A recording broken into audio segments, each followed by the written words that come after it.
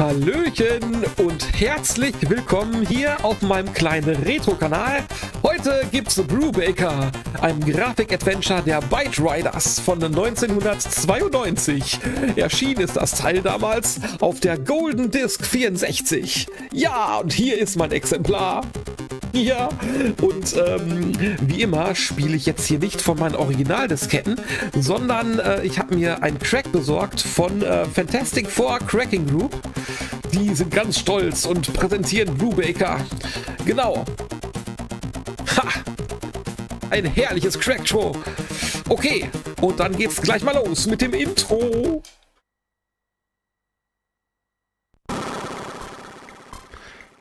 Name Kyle G. Brubaker der Dritte. Alter? Unbekannt. Damit ist nicht sein Vater gemeint. Beruf? Mann für besondere Fälle.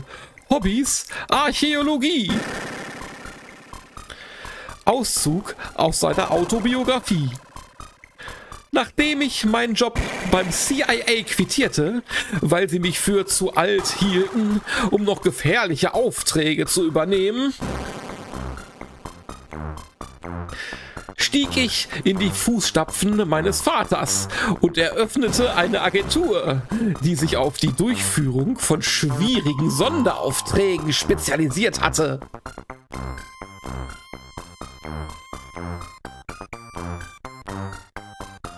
Nachdem es mir innerhalb kürzester Zeit gelang, die Leistungsfähigkeit meiner Agentur durch unermüdlichen persönlichen Einsatz unter Beweis zu stellen, erhielt ich schließlich äh, auch bald meinen ersten Auftrag von einem Mann namens Inhausen, der für irgend so einem Chemiekonzern arbeitete.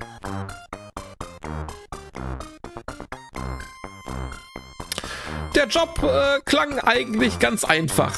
Ich sollte lediglich ein Fass mit etwas radioaktivem Abfall von Quebec nach Trinidad fliegen, äh, wo es dann von einer Zweigstelle der Firma in Empfang genommen werden sollte, um dann dort heimlich und leise ins Meer zu verschwinden.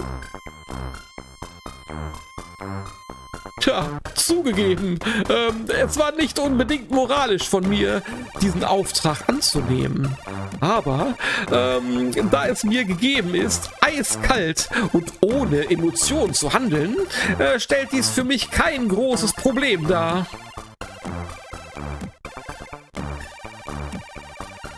Leider äh, wurde mir aber erst unterwegs bewusst, äh, dass meine Flugroute auch durch das berüchtigte Bermuda-Dreieck führte, in dem vor vielen Jahren mein Vater spurlos verschwand.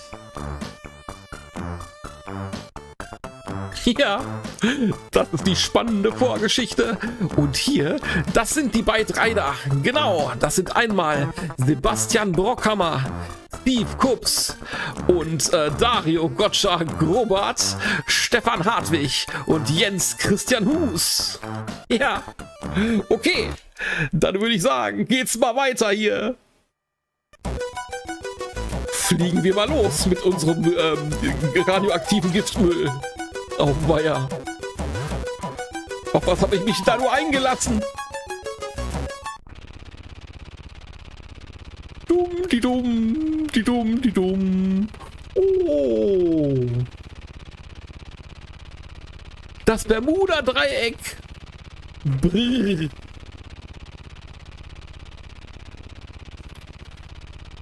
Hier verschwand vor einigen Jahren mein alter Herr.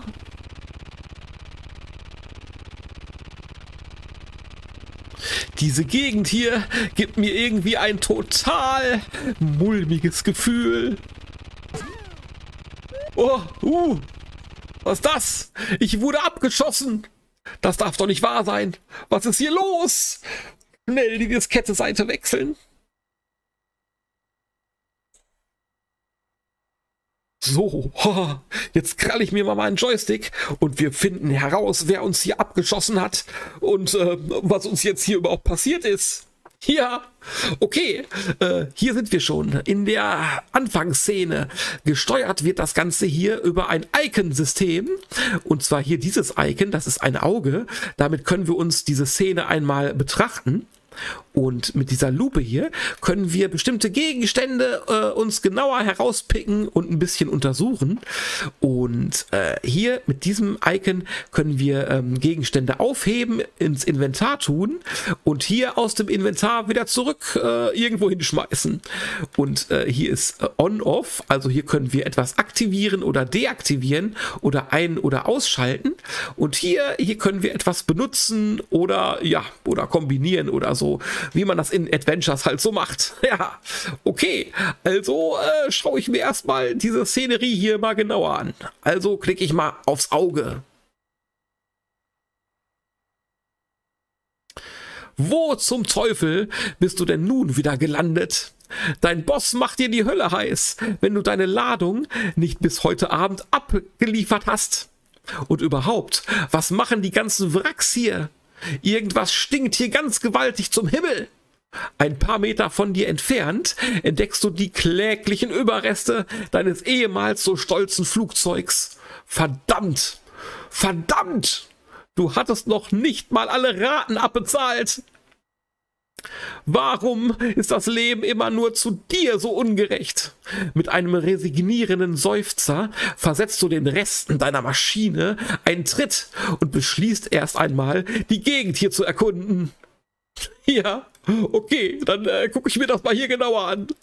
Eieiei, äh, Wracks. Hier, genau. Ich klicke äh, einmal hier auf ähm, die Lupe und dann äh, ist in dem Ruhmkasten ähm, äh, auf der linken Seite die verschiedenen ähm, Gegenstände, die ich mir genauer angucken kann. Und da gucke ich mir jetzt erstmal hier oben äh, die Wracks an. Du durchsuchst das Wrack eines alten Flugzeugs und findest einen Flugschreiber. Oha! Ja, und der erscheint auch gleich hier auf der Liste. Und den gucke ich mir auch mal äh, genauer an.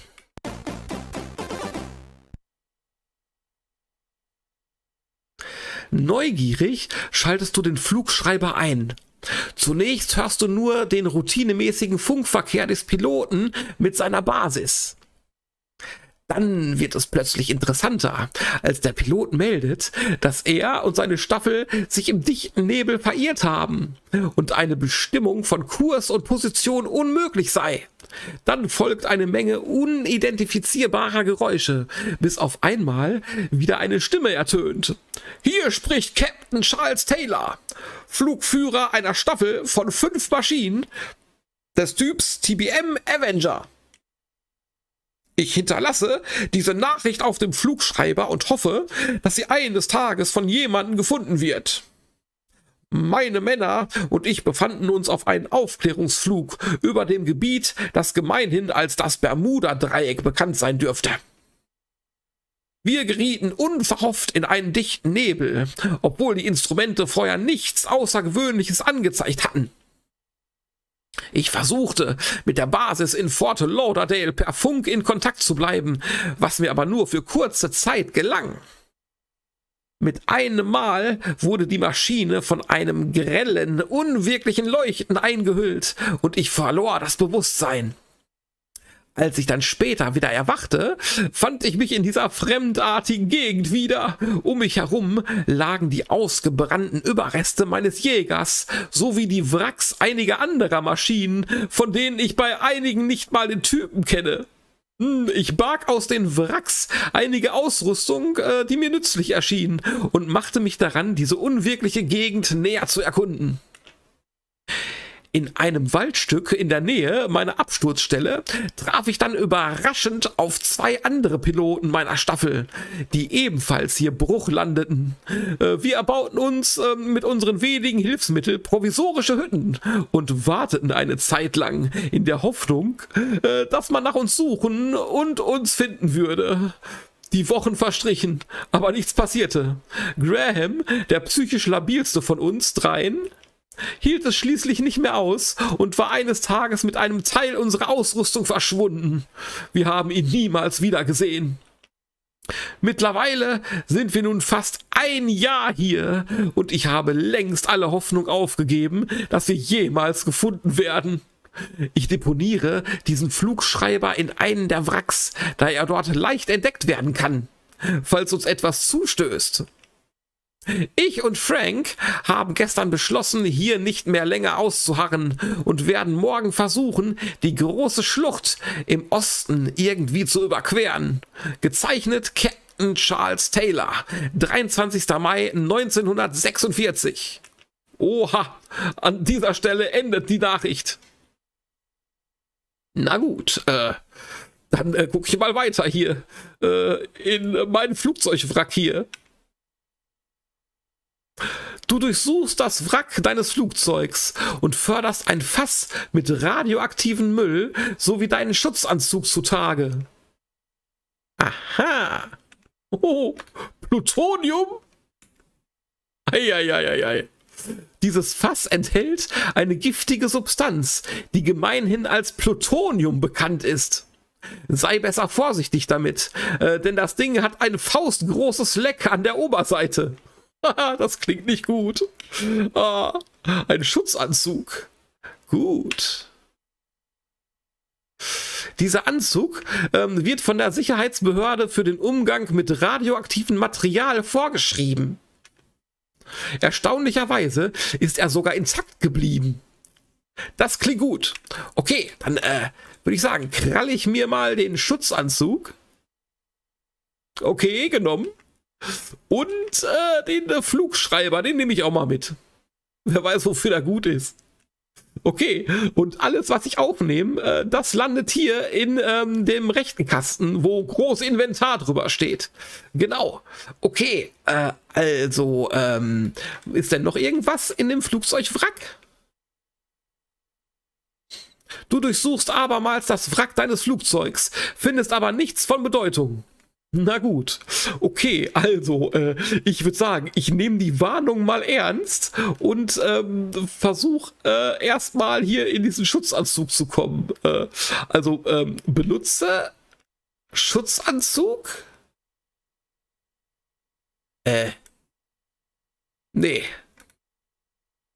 Nee, so geht das nicht. Äh, dann ist es hier.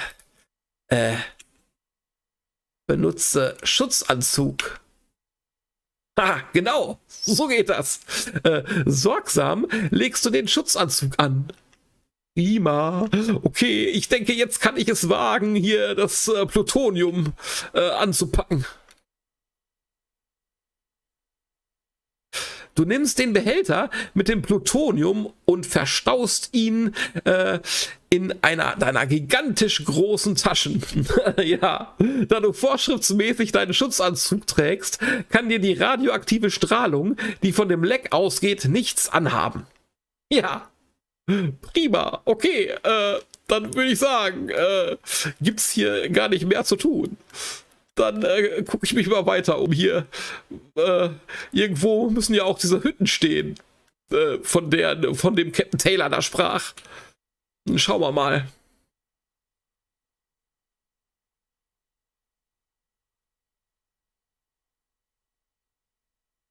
Ah. Aha, das sieht doch schon sehr vielversprechend aus. Okay, da ist eine Hütte. Bäume. Sieht ziemlich dicht aus hier. Was ist das? Kreuze? Sieht aus wie Gräber. Eieiei, okay. Dann schaue ich mir das erstmal genauer an hier. Auf das Auge geklickt. Oha. Hier scheint sich vor geraumer Zeit schon einmal jemand niedergelassen zu haben. Die Hütte sieht allerdings nicht gerade so aus, als würde ihr Erbauer noch unter den Lebenden weilen. Im Vorgarten bemerkst du zwei recht lumpig errichtete Grabstellen die wohl darauf hindeuteten, dass hier jemand äh, der Tod ereilt hat. Äh, jemanden der Tod ereilt hat. Aha. Ähm, ringsum wuchert dichter Dschungel, der ein ähm, Weitergehen in eine andere Richtung als Norden als ziemlich aussichtslos erscheinen lässt. Okay. Ja, dann schauen wir mal hier uns die Baracken mal genauer an, würde ich sagen. Du betrittst die recht vergammelt aussehende Baracke. Ein modriger Geruch steigt dir in die Nase, als du bei deiner Suche nach irgendwas Nützlichem gewaltige Mengen von Staub aufwirbelst. Hm. Trotz intensiver Suche findest du aber nichts, außer ein Stück Papier. Ein Stück Papier? Hä? Papierfetzen. Ah. Ja, das schaue ich mir aber mal genauer an. Papierfetzen. Es ist eine aus einem Tagebuch herausgerissene Seite. Mühsam entzifferst du die krakelige Schrift. 30. Juli 1946. Als wir heute wieder den Wald durchstreiften, um Baumaterial für eine Brücke über diese gottverdammte Schlucht zu sammeln, ähm, fanden wir die Leiche Grahams. Er sah aus, als wäre er von irgendeinem wilden Tier angefallen und zerrissen worden. Oh, oh, wir begruben vorhin das wenige, was noch von ihm übrig war. Gott sei seiner Seele gnädig. Doch für Frank äh, Brewster und mich muss das Leben weitergehen. Wir haben die Hoffnung immer noch nicht aufgegeben, dass es uns eines Tages gelingt, äh, aus dieser Hölle zu entkommen und zur Zivilisation zurückzufinden. Die Schlucht im Osten scheint dazu der einzige mögliche Weg zu sein. Da die restliche Gegend von nahezu undurchdringlichen Dschungel umgeben ist. Wir entdeckten nahe der Schlucht ein merkwürdig aussehendes Gerät, dessen Funktion wir aber noch nicht enträtseln konnten. Ich schließe nun für heute, heute wieder, da Franke gerade mit ein paar dieser wohlschmeckenden Käfer äh, für unser Essen zurückkommt. C. Taylor. Äh, ja, okay. Äh, dann schauen wir mal weiter. Was gibt's denn hier noch? Äh, Steine? Eine Handvoll Steine in allen möglichen Größen. Ja, prima. Äh, dann hätte ich gern einen spitzen und einen flachen und ein Paket Kies. Äh, nee, äh, nehme ich die mal mit, die Steine. Okay, genommen. Gut, was gibt's denn da noch? Oh ja, äh, die Gräber. Oh, guck ich mir die mal genauer an. Es sind zwei ziemlich provisorisch errichtete Gräber. Auf dem einen steht der Name Frank Brewster, der andere trägt den Namen Graham Fields. Beide Gräber sehen schon ziemlich verwittert und alt aus. Aha. Komisch. Aber Frank ist doch noch gar nicht gestorben. Oder ist er doch schon tot? Eieieiei. Okay, äh, was gibt's da noch? Eine Schaufel. Aha! Eine verrostete alte Schaufel mit einem hölzernen Stiel. Ja, das klingt gut. Die nehme ich erstmal mit hier. Schaufeln sind immer gut. Okay, genommen. Ja, äh, dann, äh, ja, äh, ich meine, Leute, das bietet sich doch an, oder? Äh, genau. Ich krall mir mal die Schaufel und buddel mal in den Gräbern rum. Geht das? Yo! Das würde dir wohl gefallen. Die Gräber aufbuddeln und die Ruhe der Toten stören. Hä? Nee, nee. Das gebe nur Ärger mit der äh, BPS. Also, das ist die Bundesprüfstelle für jugendgefährdende Schriften. Nein, das wollen wir nicht. Auf gar keinen Fall. Okay. Äh, mehr gibt's hier ja dann wohl mal nicht. Okay, dann äh, gehen wir mal wieder zurück hier zu den Wracks.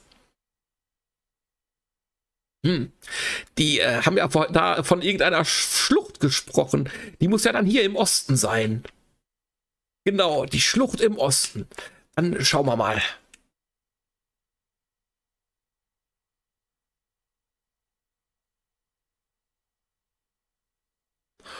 Oha, ja, gut, schön. Äh, dann äh, gucken wir uns mal hier genauer um. Kaum hat man mal ein bisschen Spaß am Wandern gefunden, schon kommt so eine blöde Schlucht daher und blockiert den Weg. Du hebst ein Steinchen vom Boden auf und lässt es probeweiser in die endlosen Tiefen der Schlucht fallen. Dann beginnst du äh, die Sekunden bis zum Aufschlag zu zählen. Als du nach ungefähr zehn Minuten immer noch keinen Aufschlag hörst, machst du dir im Geiste eine kleine Randnotiz, dass es nicht besonders klug wäre, an dieser Stelle einen Abstieg zu versuchen. Am Rand der Schlucht bemerkst du eine seltsame Maschine, die einen ziemlich verwitterten Eindruck auf dich macht. Angestrengt spähst du zur anderen Seite hm, der Schlucht hinüber, wo ein grelles Funkeln deine Aufmerksamkeit erregt. Hm, ja, ein Spiegel. Was hat der denn dort drüben verloren? Ja, das, das ist die spannende Frage, Freunde. Aber äh, ich werde jetzt hier erstmal abspeichern. Ja, und wenn ihr wissen wollt, wie es denn hier weitergeht, ja, das Gesetz der Serie, dann schaltet doch beim nächsten Mal wieder mit ein.